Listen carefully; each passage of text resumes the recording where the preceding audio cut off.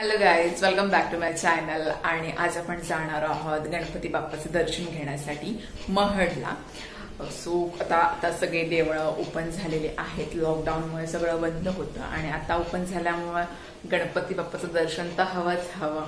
आणि आपण मराठी म्हणून गणपती बाप्पाला पाया पडल्याशिवाय कुठेच पुढे जात नाही. सो विचार केला की आज आपण गणपती बाप्पाला बाप्पाचं दर्शन घेऊन येऊया. सो आज आम्ही महडला जाणार आहोत वरदविनायकाचं दर्शन घेण्यासाठी. सो खूप खूप दिवसांनी खूप महिन्याने जाणार होतो. खूप एक्सायटेड आहे मी की फायनली टेम्पल्स आर ओपन सर्वच जण वाट बघतो कधी देवळं ओपन होतात आणि फायनली आता देवळं ओपन झालेली आहेत. सो पहिले गणपती बाप्पाचं दर्शन पाहिजे म्हणजे पाहिजे. त्यासाठी आज आम्ही चाललेलो आहोत गणपती बाप्पाचं दर्शन घेण्यासाठी. सो आपण आता जाऊया गणपती बाप्पाचं दर्शन घेण्यासाठी. See you bye bye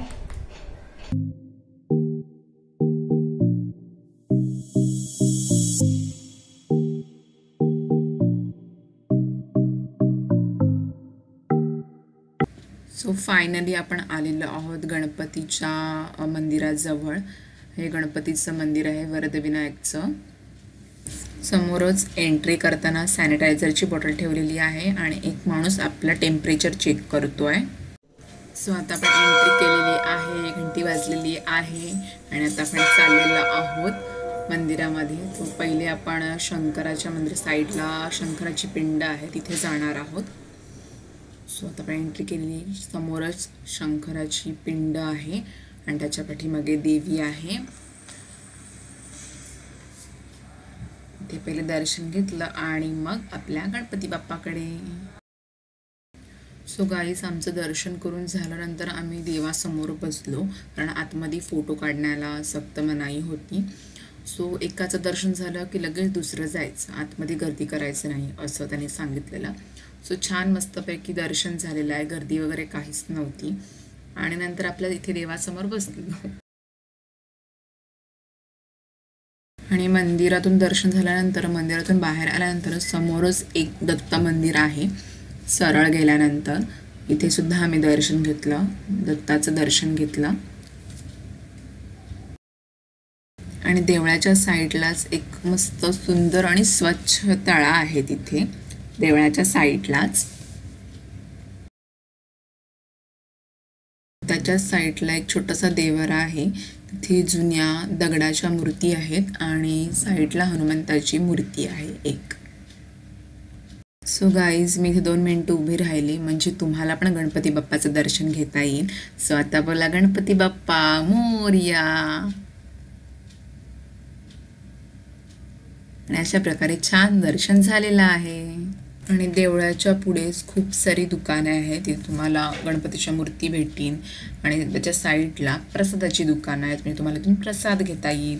आणि त्याच्यानंतर आम्ही विठ्ठल आणि रुक्मिणीच्या मंदिरामध्ये गेलो. त्याच्या पु गणपती मंदिराच्या थोड्या पुढेच हे मंदिर आहे. थोडं उंचावर आहे. त्यामुळे हा व्ह्यू एकदम बेस्ट आहे गाईज या मंदिराला धाकटी पंढरी असे म्हणतात. सो हा आहे पहिला एंट्रन्स आणि आता आपण जाऊया मंदिरामध्ये. इथे आपलं मस्त शांततेमध्ये दर्शन झालेलं आहे विठ्ठल आणि रुक्मिणीचं. आणि देवळाच्या समोरच हा सुंदर निसर्गरम्य नजारा. गाईज एकदम खूप छान हा नजारा होता. बघण्यासारखा मस्त थंड हवा येत होती. फायनली गाईज आम्ही घरी आलेलो आहोत. दुपार झालेली आहे. आम्ही घरी आलो आणि दर्शन पण एकदम उत्तम झाले. कोणच जास्त गर्दी पण नव्हती. मस्त दर्शन झालं. पण काय आतमध्ये गेल्यानंतर फोटो काढायला मनाई होती. सो जेवढं मला पॉसिबल झालं तेवढं मी केलं. आणि मस्त दर्शन झालं. छान ब्लेसिंग वाटते. एकदम दिवस एकदम फ्रेश वाटतोय. गणपती बाप्पाचं दर्शन झालं आज खूप दिवसांनी. त्या साईडलाच ते विठ्ठल रखमाईचं मंदिर होतं सो आम्ही तिथे पण जाऊन आलो. आणि आता मे बी तिकडे आता यात्रावरती या टायमामध्ये सो तिकडे यात्रेची तयारी होती पण यात्रा काय भरणार नाहीये. पण तिकडे साफसफाई वगैरे चालू आहे.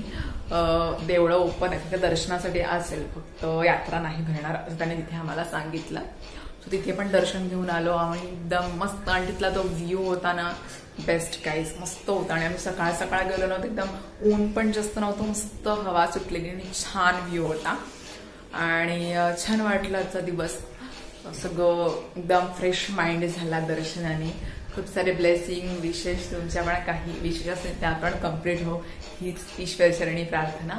आणि व्हिडिओ आवडल्यास लाईक शेअर सबस्क्राईब करायला विसरू नका. आणि आपण भेटूया अशाच मस्त व्हिडिओमध्ये. म्हणजेच उद्याच्या व्हिडिओमध्ये. तिथपर्यंत bye bye take care love yourself